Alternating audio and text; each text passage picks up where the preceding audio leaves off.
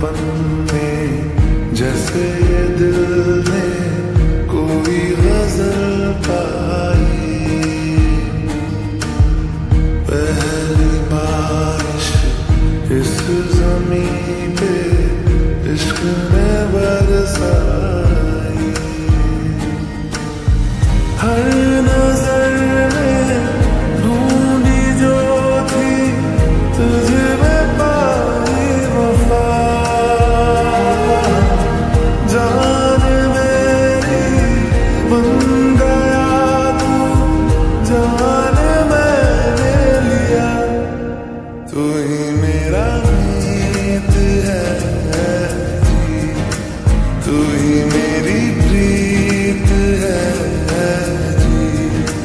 जो लबों से